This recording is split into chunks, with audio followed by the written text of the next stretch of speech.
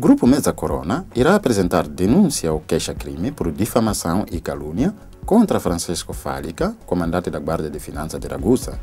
O aviso foi dado um dia após a conclusão do inquérito que resultou no sequestro da empresa Future Technology Agroambiental SRL, cujo dono é Fábio Rizzoli, que também é o administrador delegado do grupo Mesa Corona. A acusação é de associação para delinquir contra o Estado e a União Europeia após uma falsa compra e venda de uma adega na Sicília, finalizada a obtenção de um max financiamento de 4 milhões e 366 mil euros. O que mais incomodou o Mesa Corona, porém, foi a acusação de possíveis vínculos com a máfia. Polêmica em Folgaria em relação às novas instalações de esqui que de Passo Socorro ligarão Trentino e Vêneto. Os comitês recolheram 1.700 assinaturas. Entre as acusações contra a Junta Provincial, ter participado a um projeto que o Conselho da Província tinha rejeitado, não ter feito um anúncio público aos cidadãos, tendo negado até o fim a intenção de realizar a ligação. O secretário provincial do Turismo, Tiziano Melarini, declara que tudo se deu conforme as disposições e que a província nada inventou de um dia para o outro, sublinhando que nunca tinha sido contactado.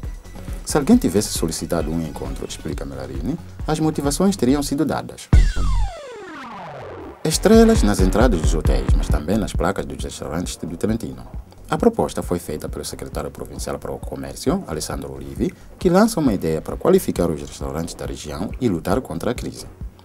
Trata-se de um sistema para avaliar a cozinha e o cardápio, tendo em conta a oferta, a qualidade e o preço.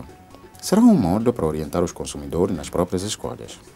A proposta de Olivi, porém, não agradou os donos dos restaurantes trentinos. Os empresários do setor gostariam, por outro lado, que a província concedesse subsídios econômicos ou uma promoção dos restaurantes que oferecem produtos locais.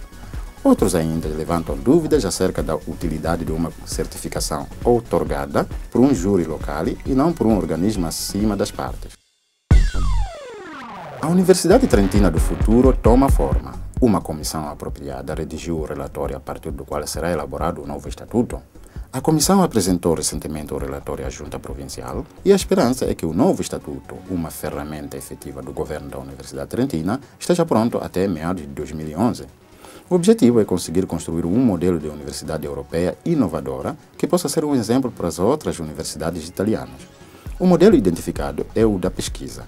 As possíveis mudanças no futuro consistirão, sobretudo, no modo de financiamento, recrutamento e gestão de recursos humanos. As atividades do grupo de colombianos, que chegou no Trentino para estudar a organização das estratégias de mudança dos territórios na Summer School, tiveram início. O objetivo é o de promover o desenvolvimento da própria região para que se possam enfrentar os desafios do mundo global. Trata-se de metas ambiciosas que exigem uma preparação específica. O Centro de Formação para a Solidariedade Internacional organizou a primeira Summer School, cujo título é Comunidade de Desenvolvimento Local.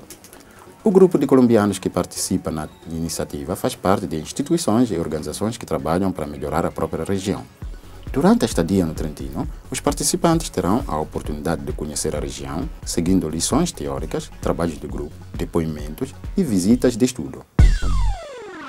Mais de 600 teólogos vindos de 73 países se reuniram em Trento para discutirem sobre o futuro da teologia, 465 anos após a abertura do Concílio Ecumênico.